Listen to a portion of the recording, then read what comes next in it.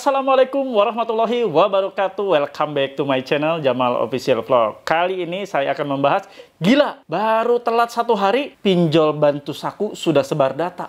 Meresahkan. Ini sangat meresahkan. Simak videonya. Jangan pernah takut oleh ancaman dan teror dari DC pinjaman online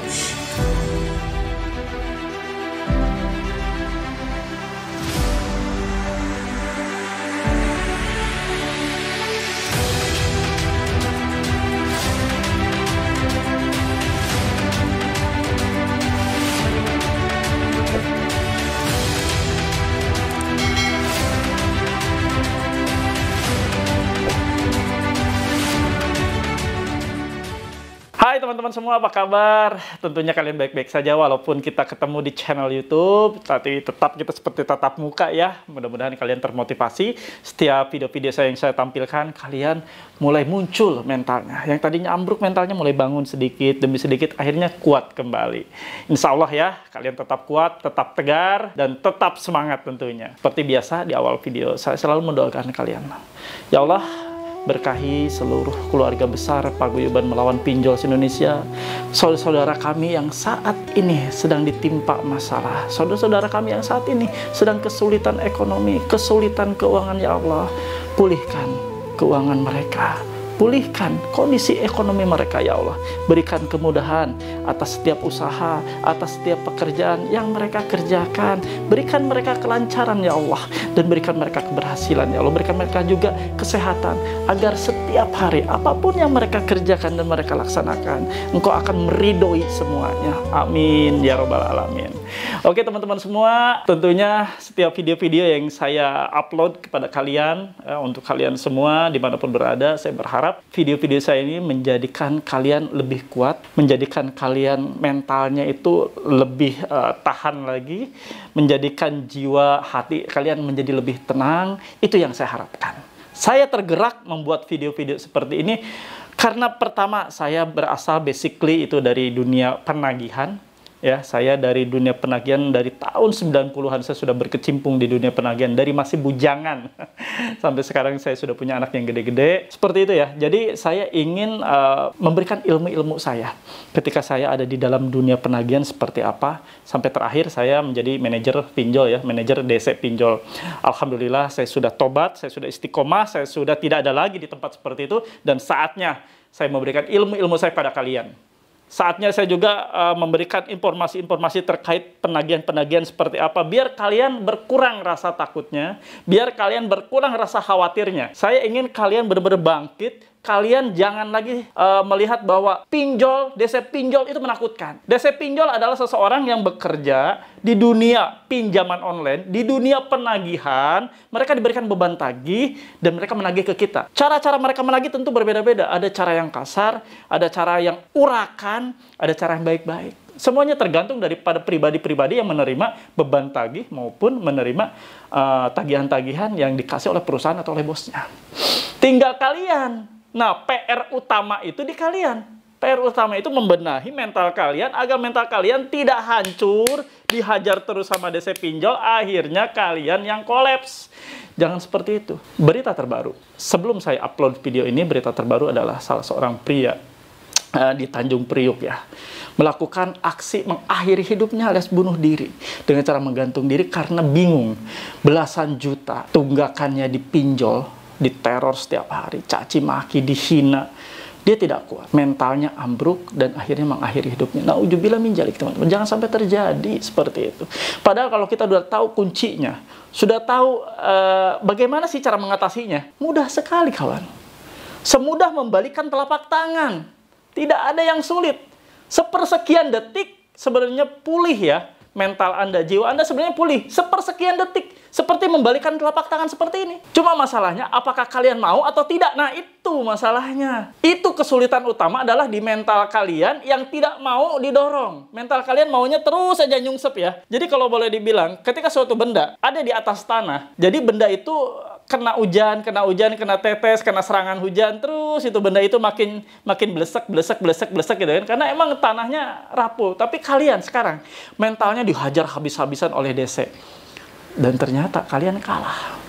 Padahal itu hanyalah sebuah permainan. Games, permainan. Mereka bekerja, tuntutan pekerjaan untuk mendapatkan gaji, mendapatkan honor, mendapatkan pembayaran. Tapi Anda ada dalam permainan mereka, lalu Anda kalah. Ngerti nggak? Bisa nggak nangkap ya apa yang saya ungkapkan? Dalam permainan, ya lingkaran permainan, ada DC, ada Anda. Ini permainan. Mereka mengemban nih tugas untuk menagih Anda. Anda dirusak mentalnya. Lalu anda tiba-tiba menyerah, give up. Bingung, Pak, ini saya gimana Pak? Ditagi diterornya seperti ini. Padahal saya sudah kasih video-video terlama, video-video terdahulu sekalipun, bahwa teror-teror pinjol itu hanyalah untuk membuat Anda bayar. Nggak ada yang lain. Mau bahasanya binatang, mau bahasanya urakan, bahasanya preman, bahasanya dengan eh, kalimat-kalimat uh, kriminal, semuanya itu berujung agar kalian bayar mereka dibayar, mereka mendapatkan bukti bayar, mendapatkan struk bayar dari kalian, mereka girang kok, mereka senang. Udah itu aja kawan. Jadi sekarang permainannya adalah di mental kalian. Kuat atau tidak? Ada laporan atau postingan yang ada di grup Paguyuban Melawan Pinjol. Iya, saya cerita sedikit. Saya mendirikan grup Paguyuban Melawan Pinjol Indonesia, yaitu grup di Facebook, yang mana isinya adalah wadah dari teman-teman nasabah-nasabah pinjol baik legal maupun ilegal yang di sini mereka saling sharing, saling uh, curhat ya, saling uh, informasi terkait masalah gagal bayar pinjaman online. Jadi mereka di sini saling cerita. Apa pun persoalan mereka cerita di sini. Ratusan postingan setiap hari di sini. Ribuan member setiap hari reaksi ya saling informasi, saling interaksi. Teman-teman, di sini yang paling unik ya, tidak ada satupun yang namanya joki, tidak ada satupun yang namanya DC pinjol, sales pinjol atau apa pun. Jadi ini berbeda dengan grup-grup Facebook lainnya yang campur aduk dengan joki pinjol, dengan sales pinjol. Di sini nggak ada kawan. Alhamdulillah di sini clear. Kalaupun ada satu atau dua penyusup yang mencoba masuk, mengkamuflasekan dirinya, member-member di sini saling interaksi ya saling memberikan laporan, langsung lapor ke adminnya. Admin langsung nggak ada lagi caranya diampuni, langsung di kick. Karena itu adalah sampah, karena itu adalah racun buat member-member yang sudah mau tobat dan di sini adalah member-member yang sudah tobat dan tidak lagi nyebur ke dunia pinjol. Insya Allah mereka istiqomah semuanya ya dan insya Allah juga mereka yang ada di grup paguyuban melawan pinjol ini diberkahi semua rezekinya dijauhkan dari rezeki-rezeki yang haram. Amin ya robbal alamin. Kalian yang mau gabung di grup ini silakan. Kalian cari linknya di kolom deskripsi. Silakan kalian klik tautannya di sana. Tapi syaratnya kalian harus menjawab tiga pertanyaan yang diajukan oleh admin. Bila tidak menjawab, ketika kalian mau masuk ke grup ini tiga, tidak menjawab tiga pertanyaan itu, dijamin akan ditolak. Ya, mohon maaf karena kami membuat aturan ini untuk mensterilkan dari joki-joki, dari DC dan lain sebagainya. Halo teman-teman semua, jangan lupa untuk subscribe channel YouTube Jamal Official Vlog lalu aktifkan loncengnya untuk mendapatkan notifikasi video-video terbaru. Terima kasih. Nah, teman-teman, sebelum kita melangkah, apa sih yang di-sharingkan tentang masalah Bantu Saku ini? Bantu Saku adalah platform pinjol legal yang sudah terdaftar dan berizin dari OJK. Tapi sebelum saya bahas, ya, saya minta teman-teman bantu saya support. Yang belum support, silahkan bantu saya untuk subscribe channel Jamal Official Vlog, diaktifkan loncengnya kawan-kawan, agar Anda mendapatkan notifikasi setiap video-video terbaru yang saya upload setiap harinya. Ada dua video terbaru dan terupdate semuanya. Yang padat informasi, padat ilmu, padat wawasan. Silahkan ya, kalian subscribe ya. Kenapa harus subscribe? Karena di sanalah banyak informasi terkini, banyak ilmu-ilmu yang bermanfaat, banyak wawasan-wawasan yang mumpuni buat kalian sebagai bekal ketika kalian saat ini sedang dalam kondisi situasi gagal bayar. Nah, itu channel ini insya Allah banyak sekali testimoni bahwa channel ini mengubahkan hidup Anda yang tadinya Anda takut menjadi berani, yang tadinya Anda doyan minjol jadi najis sama yang namanya pinjol, jadi najis sama yang namanya riba pinjol ya. Insya Allah Anda di sini dikuatkan, mentalnya dipulihkan kembali. Amin ya robbal alamin. Oke, ini ada salah satu uh, postingan dari member ya, saya tutup. Nah, ini saya buka ya, saya tutup namanya. Hari ini Bantu Saku sudah hubungi luar kontak darurat di luar kontak darurat loh. Uh, padahal baru telat satu hari. Untung masih teman sendiri. Padahal DC-nya WA pun masih saya respon loh. Tapi malah tetap keluar kontak darurat. Auto lunas deh ya. Legal kok kayak gini. Nah, ya. Ini komplain ya. Ini saya tampilkan. Komplain nih. Komplain si uh, Mbak ini ya, si temen kita ini yang di grup. Siang, jangan mempersulit masalah. Ini ini si DC-nya bilang, siang jangan mempersulit masalah. Anda sendiri jika Anda tidak ada respon perihal pembayaran hari ini, perusahaan akan melakukan proses ke kediaman atau tempat kerja nantinya dengan membawa bukti atas kesepakatan awal kerjasama dan riwayat data Anda di sistem perusahaan. Dari kemarin juga udah respon, saya udah bilang belum ada dananya, kata si nasabah. Lalu si DC-nya bilang belum ada dana, diem aja, nggak usaha. Cari dana talangan, kalau niat bayar diusahakan. Jika tidak bisa melunasi, minimal perpanjangan jika masih bisa. Jangan pasrah, nggak ada dana terus. Anda yang meminjam ke perusahaan kami, masa harus kami ngikutin aturan pembayaran Anda, kata si DC. Waktu pengajuan kan Anda sudah setuju ketentuannya, ini kata si DC ya. Dan si ini orang ini komplain. Nasabah ini komplain. Satu hari saja terat sudah keluar kontak darurat. Ngeri, kan? Ngeri loh. Bantu saku. Aplikasi legal. Terdaftar berizin OJK. Nah, ini, ini uh, percakapan, ya bukan percakapan sih, ini yang dikirimkan ke kontak darurat atau ke luar kontak daruratnya. Selamat siang, Pak Ibu. Staf, saya staf aplikasi Bantu Saku. Di sini saya ingin menitip pesan kepada Pak Ibu untuk segera melunasi tunggakannya di aplikasi Bantu Saku yang sudah lewat dari jatuh tempo. Tolong sampaikan pesan saya, terima kasih. Luar biasa. Langsung ke kontak darurat. Inilah apa yang saya sebut udah ngawur jadi sekarang ini posisinya sudah ngawur. Legal rasa ilegal. Legal sudah tidak ada lagi rasa-rasa legal. Legal udah sama saja, beda-beda tipis. Tapi sekarang udah bukan tipis lagi, tapi nyata. Jadi legal-legal ini berlaku, kelakuannya udah kayak ilegal. Itu ya, Itukah yang namanya pinjol, pinjol legal? Ngapain juga terdaftar dan berizin OJK? Kalau kelakuan mereka udah persis dan mirip sekali dengan pinjol-pinjol ilegal. Ngapain? Ngapain didaftarin? Udah Anda ilegal saja kelakuannya kalau kayak gitu. Ngapain?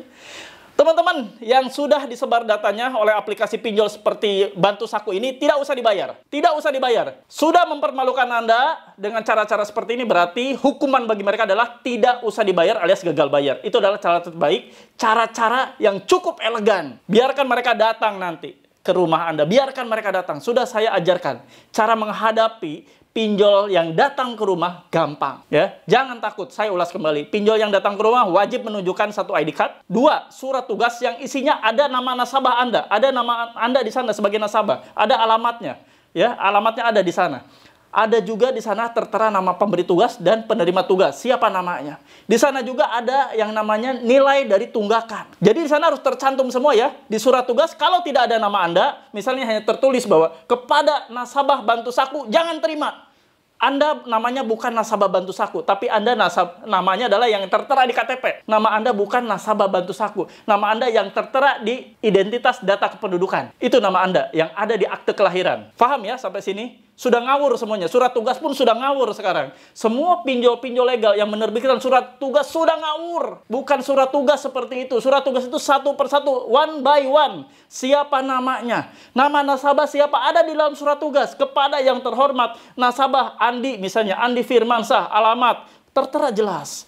RT RW tertera jelas. Lalu di sana juga ada yang namanya nilai tunggakan harus tertera jelas. Itu baru namanya surat tugas. Dan yang ketiga, desa yang datang ke rumah wajib menyertakan yang namanya surat sertifikasi profesi penagihan. Jadi mereka harus membawa dokumen sertifikasi profesi penagihan sebagai bukti bahwa dia adalah sudah berkompetensi menjadi sebagai juru tagih dari suatu perusahaan, baik itu pinjol maupun agensi penagihan. Faham sampai sini ya? Saya ulas terus agar Anda terasah ya ilmunya, agar wawasannya padat, agar wawasannya Anda itu nambah. Jadi Anda tuh nggak jalan di tempat, sudah dihina, dicaci maki, Anda jalan di tempat, ilmunya nggak naik-naik, repot kawan. Saya di sini tergerak untuk membagikan ilmu-ilmu saya yang saya dapat selama saya ada di dalam pinjaman online, selama saya ada di dalam dunia penagihan. Saya kasih ilmunya ke kalian gratis. Kalian cukup nonton video seperti ini, insya Allah ilmu ini dapat dan Anda masuk ya, bisa masuk dan Anda tidak lagi takut. Wawasan Anda sudah bertambah, ilmu Anda sudah tebal, percaya diri Anda sudah ada dan kuat. Insya Allah ya. Nah, jadi kalian yang mendapati hal seperti ini gagal bayar saja, Anda sudah dipermalukan. Padahal mereka kalau mau melakukan penagihan yang serius, penagihan yang benar-benar penagihan, mereka harusnya datang ke kediaman Anda sesuai dengan alamat dan KTP Anda. Alamat KTP kan jelas ada. Anda tidak ke mana-mana kan. Nasabah ini masih ada. Nggak ke mana-mana. Bahkan komunikatif. Handphonenya tidak dimatikan. Masih menjawab, masih merespon. Tapi mereka langsung ke kontak darurat. Di luar kontak darurat ngapain? Banci yang namanya seperti itu. Ngerti nggak? Penagihan-penagihan seperti itu malas. Harusnya mereka tuh datang ke tempat nasabahnya. Kenapa nggak bayar Bapak Ibu? Kenapa belum ada dananya? Mohon ya Bapak Ibu bisa disediakan dananya sebelum akhir bulan Ibu bisa membayar. Kami doakan agar ibu bisa ada rezekinya. Nah itu baru namanya juru tagih. Punya etika, punya attitude. Bukan bentar-bentar keluar kontak darurat. Bentar-bentar hubungi kontak darurat. Bencong namanya kayak gitu. Paham? Saya mengutuk keras hal-hal seperti itu. Korban sudah berjatuhan. Terakhir ada yang bunuh diri, gantung diri akibat kelakuan-kelakuan kalian desa-desa laknat ya. Saya sebut desa laknat karena kalian tidak pakai otak cara menagihnya. Harusnya kalian pikir dengan cara-cara seperti itu apakah efektif tidak. Justru musibah ada di kalian. Nasabah serentak gagal bayar, kelar hidup kalian. Kalian kan gajinya itu dari angsuran-angsuran nasabah. Kalian itu gajinya dari persentase yang didapatkan dari hasil penagihan nasabah. Di penghasilan DC-DC itu dari nasabah. Anda sekarang jumawa sekali menindas nasabah-nasabah, Anda jumawa sekali, sekarang sombong, arogan, ya, dengan cara mengkasar-kasari nasabah, mengintimidasi nasabah, padahal perut Anda, dapur Anda di rumah itu ada di nasabah loh. Nasabah gagal bayar, kelar hidup Anda, nggak bisa ngapa-ngapain. Ngapain lagi coba Anda? Kalau nasabah nggak bisa bayar, kelar, PHK urusannya. Ngebul, enggak. Ngebul, enggak. Itu dari nasabah. Anda nggak ngebul dapurnya karena nasabah gagal bayar. Rasain. Cara-cara Anda lah yang membuat Anda stres nantinya. Bukan lagi nasabah. Saya mau membalikan pola pikir yang selama ini terjadi. Pola pikir yang selama ini terjadi dan nyata, yaitu nasabah takut dengan yang namanya DC. Nanti saya akan balik pola pikirnya. DC yang harus takut dengan nasabah. Saya akan balikan. Lihat, 3, 4, 5 bulan ke depan, yang namanya nasabah itu tidak lagi takut kepada DC pinjol. Tapi DC pinjol lah yang takut kepada nasabah. Takut kalau mereka melakukan hal ini, nasabah akan gagal bayar serentak. Takut juga kalau misalnya mau nagih ke nasabah, dia tidak bisa melengkapi surat-surat dokumen yang diperlukan, yang harus ditunjukkan kepada nasabah, mereka sudah jiper duluan. Mereka tidak akan pernah berani nginjak ke rumah nasabah. Lihat nanti ya, kita lihat, kita pantau seperti apa. Stay tune di channel saya ini, tetap ya, aktifkan loncengnya karena info-info terbaru akan kalian dapat. Aktifkan loncengnya kawan-kawan karena itu adalah langsung sepersekian detik upload, saya video saya upload, langsung muncul di handphone Anda. Oke teman-teman semua, paham ya yang saya sampaikan? Jadi ketika kalian sudah dicaci maki, sudah dihina, terus bila kalian juga sudah disebar datanya, sudah ditagih-tagih ke kontak darurat Anda, di luar kontak darurat Anda, stop bayar, gagal bayar saja, tidak usah dibayar. Sudah itu aja. Itu yang ingin saya sampaikan dalam video ini. Semoga kalian paham ya. Saya tidak berlama-lama karena mungkin kalian harus mendapatkan booster mental yang kuat, padat dan wawasannya benar-benar semakin terbuka lagi. Semoga kalian dalam menjalani situasi gagal bayar seperti ini, kalian tetap keep strong, stay strong ya kalian bisa kuat, kalian bisa untuk menang melawan DC-DC pinjol ini. Menang artinya bukan fisik ya. Saya tidak setuju kalau kalian bermain fisik. Kalau kalian bermain fisik itu salah. Karena ini adalah negara hukum. Negara yang berlandaskan hukum. Segala sesuatu perbuatan apa pun itu diatur oleh hukum dan perundang-undangan yang berlaku. Mereka main fisik, laporkan. Jangan pernah kalian main fisik. Karena kalau kalian main fisik, jatuhnya ada kesalahan di kalian. Saya nggak mau. Saya tidak rela dan tidak ikhlas kalian menjadi salah hanya gara-gara salah langkah. Oke teman-teman semua, di mana pun berada, sebelum saya tutup video ini, saya mendoakan kalian semua. Ya Allah, berkahi seluruh teman-teman kami, seluruh saudara-saudara kami yang saat ini menjadi nasabah yang tidak sanggup atau tidak memenuhi kewajibannya ya Allah. Berikan mereka kekuatan, berikan mereka kekuatan hati, tancapkan dalam diri mereka untuk istiqomah meninggalkan riba pinjol ini, untuk benar-benar meninggalkan riba pinjol ini, berkahi keuangan mereka, ekonomi mereka ya Allah, biar mereka bisa menutup seluruh hutang-hutangnya ya Allah, biar mereka juga bisa menutupi seluruh kebutuhan di dalam rumah tangganya ya Allah. Berikan mereka ketenangan hati, berikan mereka keluasan rezeki, berikan mereka kemudahan, berikan mereka kelancaran dan berikan mereka keberhasilan ya Allah. Amin ya robbal alamin. Oke teman-teman semua, tetap semangat. Terima kasih untuk para subscriber dan penonton setia saya di mana pun berada. Kalian luar biasa ya. Semoga kalian sehat selalu, limpah rezeki, dan Allah memberikan rezeki yang tak henti-hentinya untuk kalian semua. Amin ya robbal alamin. Terima kasih. Saya pamit. Sampai ketemu di episode selanjutnya. Terima kasih. Wabillahi taufiq wal hidayah. Wassalamualaikum warahmatullahi wabarakatuh. Bravo!